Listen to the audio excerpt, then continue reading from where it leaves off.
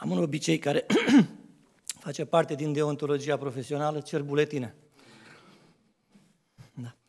Mă simt ca acasă pentru că aici studiez de 20 de ani la Biblioteca Națională. Ea a fost mutată din centru, acum e bursă acolo și studiez cărți vechi, literatură, istorie.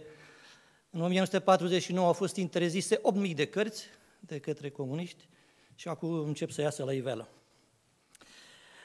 Mulțumim Domnului, mă iertați, mulțumim de asemenea capelanului Gabi Gheorghiaș pentru invitație.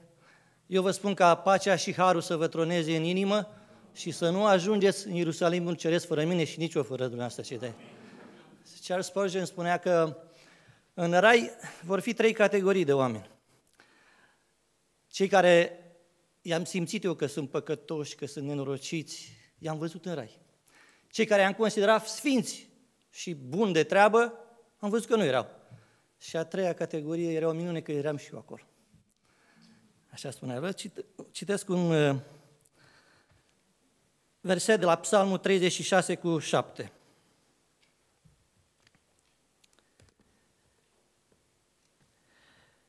Cât de scumpă este bunătatea ta, Dumnezeule, la umbra aripilor tale găsesc oameni, fiii oamenilor adăpost.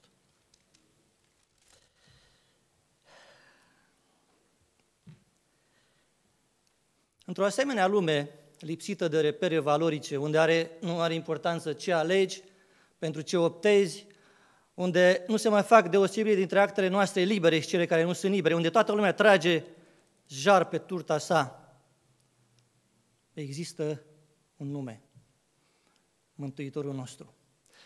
De unde știi că o linie este dreaptă? Numai atunci când ai văzut una strâmbă.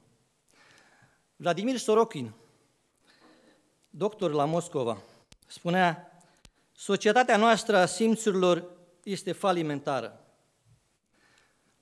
La Apocalipsa 22 cu 25 spune că, Isaia, mă iertați, drugul acela înfipt odată a fost luat. Și noi ne bazăm pe materie. Am văzut în uh, Biblie cuvântul adăpost de 75 de ori în Vechiul Testament, de 80 de ori în Noul Testament.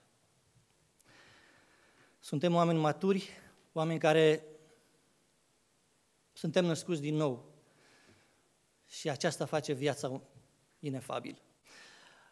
Odată un tăietor de lemne s-a dus la un negustor și a zis, domnule, vreau să lucrez.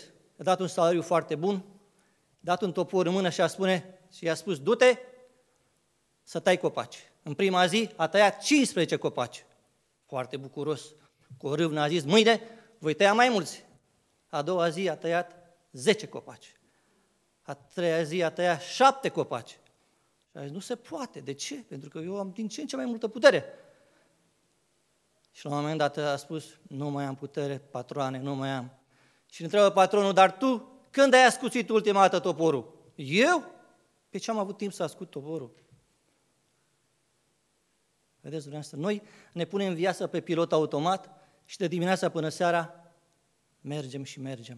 La un moment dat Iisus spune ucenicilor, veniți la o parte. Abraham Lincoln spunea, dacă am șase ore să tai un copac cu toporul, trei ore ascut toporul. Ce înțelept! Pentru că cu un topor care nu taie, poți să stai trei sau patru zile să tai un copac.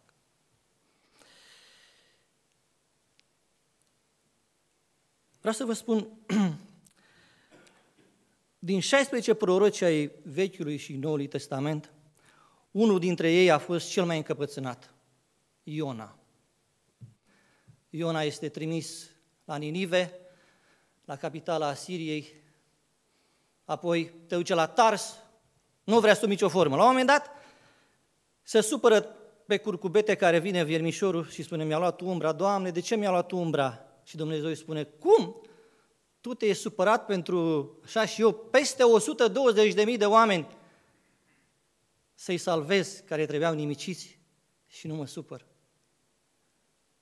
La adăpostul cuvântului pe mașinile poliției scrie, sau nu mai scrie acum, scria siguranță și încredere. și un profesor la master spune, ia scoateți câte o foaie de hârtie și scrie, și să-mi spuneți în două, pe două col de hârtie, de ce scrie așa? Zic, m ne-a prins aici, ne-a prins. Dar trebuia să spun, să scriu despre siguranța pe care o avem în Isus Hristos. Și vreau să vă citesc la sfârșit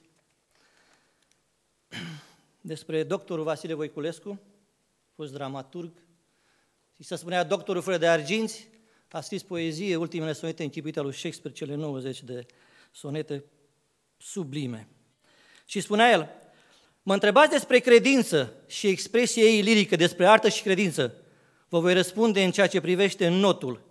Cu cât gesturile în apă sunt mai mari și mai gălăgioase, cu atât înnotătorul e mai slab, mai nesigur, aproape de necare. Neștiutorii, începătorii fac cele mai dezordonate, zgomotoase și gradilocvente gesturi cu brațele și picioarele. În notul perfect se face fără o pintire, e nesimțit.